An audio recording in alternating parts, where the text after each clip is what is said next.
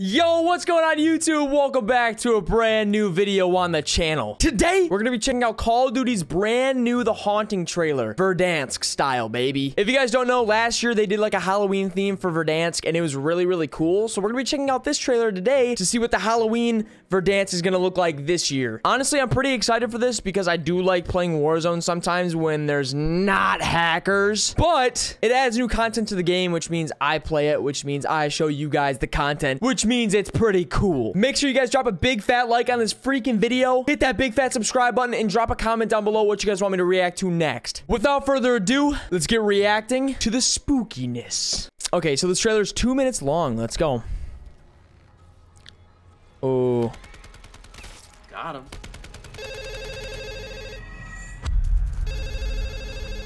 Wait, is that Swagg? No, it is, Hello? bro. What's your favorite place to drop? You got the wrong Scream. number, dude. I said, what's That's epic, dude, that he's in this. I love that. Um, Superstore? Really? Then why are you in graveyard right now? Who is this? The question isn't who am I. The question is, where am I?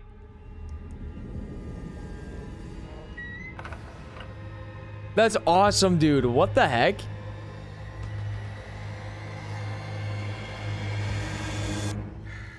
Oh no, he's gonna be behind you. Yo! That's awesome! Oh my god!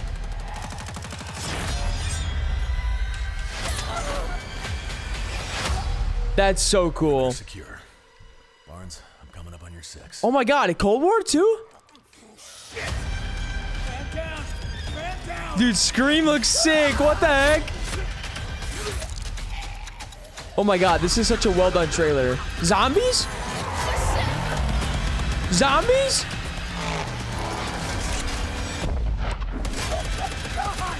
Wait, is Nuketown in Verdan?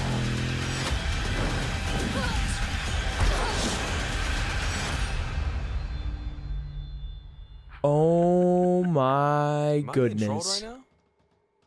Right now? Hello? Oh my god.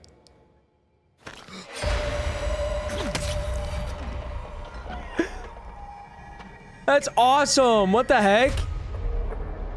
Digitally pre-order Call of Duty Vanguard and instantly get the Ghost of War Ultra Bro. Skin. So it comes out tomorrow, basically, is what you're telling me, October 19th.